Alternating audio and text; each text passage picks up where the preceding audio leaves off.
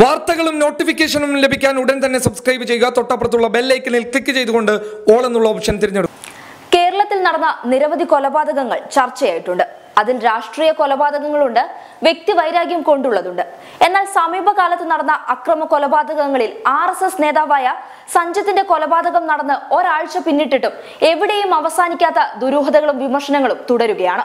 പട്ടാപ്പകൽ ആൾ സഞ്ചാരമുള്ള പ്രദേശത്ത് വെച്ച് ഒരു സംഘം മുപ്പതിലധികം തവണ വെട്ടി സ്വന്തം ഭാര്യയുടെ മുന്നിൽ വെച്ച് സഞ്ജിത്തിനെ കൊലപ്പെടുത്തിയ സംഭവത്തിൽ പ്രതികളെ കുറിച്ച് ഒരു സൂചനയും ലഭിച്ചില്ല എന്ന് ദിവസങ്ങളോളം ആവർത്തിച്ച കേരള പോലീസിന്റെ അന്വേഷണ രീതിയെ വിമർശിച്ച് നിരവധി പ്രതിഷേധങ്ങൾ ഉയർന്നിരുന്നു.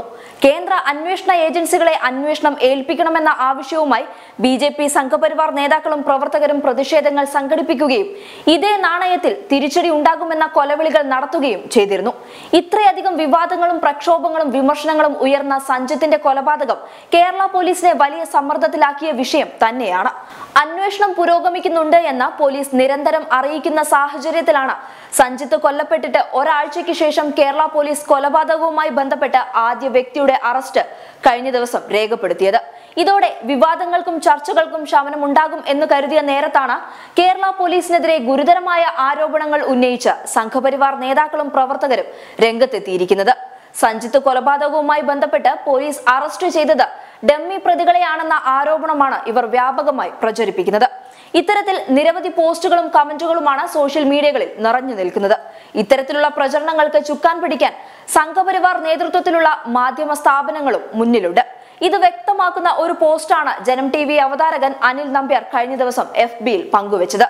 സഞ്ജിത്തിനെ കൊന്നവരിൽ ഒരു പോപ്പുലർ ഫ്രണ്ടുകാരനെ പോലീസ് അറസ്റ്റ് ചെയ്തിട്ടുണ്ട്. പക്ഷേ അവന്റെ പേര് വെളിയിൽ വിട്ടിട്ടില്ല. പ്രതി ഡമ്മിയാണോ? പോലീസ് നാടകം കളിക്കുകയാണോ? എൻ ഐ എ വരുന്നതിന് മുൻപുള്ള ഒത്തുതീർപ്പാണോ ഇത്? ചോദ്യങ്ങൾ ബാക്കിയാണ് എന്ന് പറഞ്ഞ് അവസാനിപ്പിക്കുന്ന പോസ്റ്റിൽ സഞ്ജിത്ത് കൊലപാതകവുമായി ബന്ധപ്പെട്ട പോലീസിന്റെ വിശദീകരണ കുറിപ്പിന്റെ ഒരു ചിത്രവും അനിൽ നമ്പ്യാർ പങ്കുവച്ചിട്ടുണ്ട്. ഈ ആരോപണത്തെ അനുകൂലിക്കുന്ന തരത്തിലുള്ള നിരവധി പ്രതികരണങ്ങളാണ് ഈ പോസ്റ്റിന് താഴെ ഉള്ളത്. കേരള പോലീസിനെതിരെയും ശക്തമായ വിമർശനങ്ങളും ഉണ്ട്.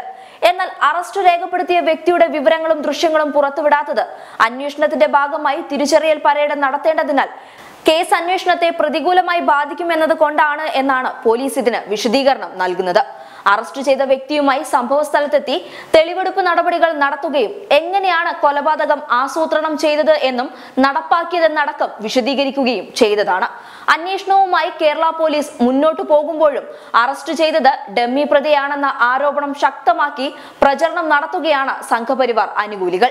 എന്നാൽ മുഴുവൻ പ്രതികളെ കുറിച്ചുള്ള വിവരം ലഭിച്ചിട്ടുണ്ട് എന്നും അന്വേഷണം ശരിയായ ദിശയിലാണ് എന്നാണ് പോലീസ് ആവർത്തിക്കുന്നത്. ഇത്രയധികം ചർച്ചകളും വിമർശനങ്ങളും സഞ്ജിത്ത് കൊലപാതകത്തിൽ ഉയരുമ്പോൾ പോലീസിനെതിരെയുള്ള ഈ ആരോപണത്തിന്റെ സത്യാവസ്ഥ തെളിവുകളുടെ അടിസ്ഥാനത്തിൽ വ്യക്തമാക്കേണ്ടത് കേരള പോലീസാണ്. അല്ലെങ്കിൽ ഇതൊരു സുവർണ അവസരമായി കണ്ട് കേരളത്തെ അക്രമാസക്തമാക്കാനുള്ള സാധ്യതകൾ തള്ളിക്കളയാനാവില്ല. News desk public Kerala.